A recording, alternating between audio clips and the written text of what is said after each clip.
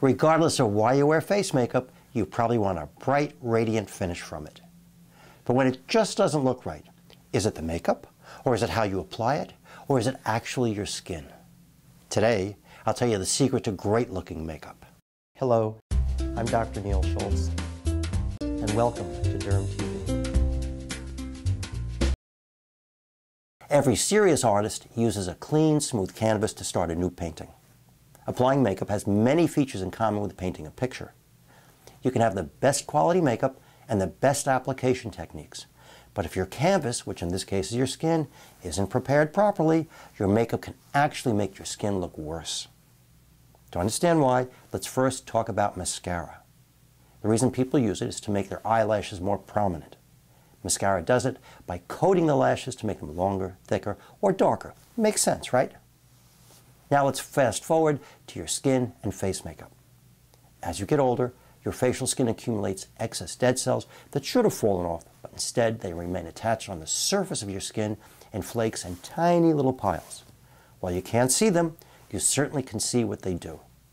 They make your skin look dull, tired looking, discolored, large pored, and uneven. Let's go back to the mascara again. Remember that by coating the lashes, it makes them more prominent.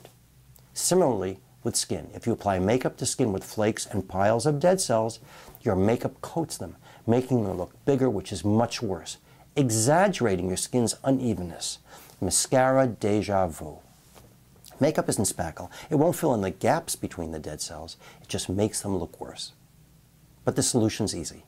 If you exfoliate your skin regularly and remove those distorting dead cells, you'll be applying your makeup to a smooth surface. Then it'll apply smoothly and evenly, giving you a bright, radiant finish that makes your skin look great. And here's more good news. Your makeup will go on smoother and faster, saving you time and money. But let me ask you an interesting question. Since regular exfoliation makes your skin brighter, smoother, more even-toned, and glowing, will you really even need makeup if you exfoliate? I know exfoliation has succeeded. One of my patients tell me they no longer need to use foundation. Please join me again at dermtv.com. If you have a question, please send it to me by visiting dermtv.com slash question. I'm Dr. Neil Schultz, and thank you for watching today.